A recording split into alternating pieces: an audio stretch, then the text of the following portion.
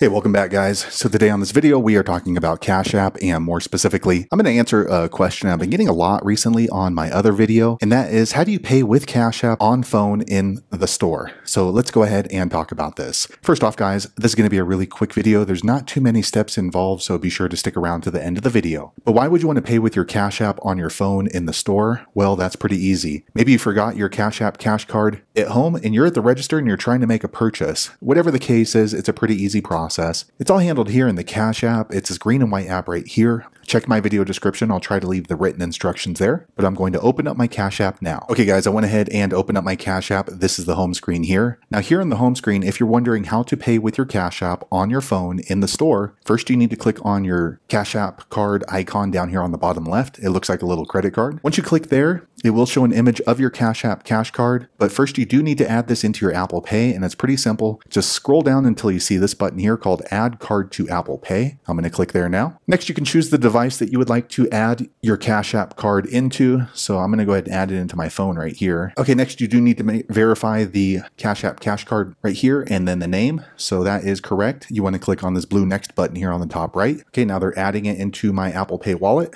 Okay, next I have to agree to the terms and conditions. Okay, next they're asking if you'd like to use your Cash App cash card as the default in your Apple Pay. If you're trying to pay with your Cash App on your phone in the store right then and there, you probably want to go ahead and do that. Add this as a default card. Just keep in mind that once you do that, then your Cash App Cash Card will be used first before any other card for any future purchases. So let me click on this blue Use as Default card. Okay, they're letting me know that the card was added to my Apple Pay. The PIN number is the same one that you log into your Cash App with. So let me click on Done. Okay, so now my Cash App Cash Card is in my Apple Pay wallet. So if I want to pay with my Cash App on my phone in the store, I can. And all I'm going to do is go over to my Apple Pay wallet. Okay, so here's my Apple Pay wallet, this little colorful icon down here on the bottom left. Okay, so I opened up my Apple Pay wallet. So it's open and you can see my Cash App Cash Card is now listed in my Apple Pay wallet. So now all I'm going to do is if I'm going to use my Cash App on my phone to pay in the store, now that my Apple Pay wallet is open, I'm just going to bring it close to the register, my physical phone. I usually have better luck when the top of my phone up here towards the audio buttons, if I touch that onto the NFC device. And then it's going to open up and then you're going to need to enter in your passcode or your Face ID or your Thumb ID to confirm the transaction. And then that way, whatever you're buying in the store with your Cash App would come off of your Cash App card. So now you can just use your Cash App to pay in the store with your phone as you would with any other type of transaction with Apple Pay. So there you have it, guys. If you're wondering how to pay with Cash App on your phone in the store, that's the easiest way I know how to do it. If you know an easier way, be sure to leave a comment below. Let the rest of us know how you did it. Hopefully you found that video useful. If so, click thumbs up or maybe consider subscribing to my channel and I hope to see you on the next video. Thanks again for watching.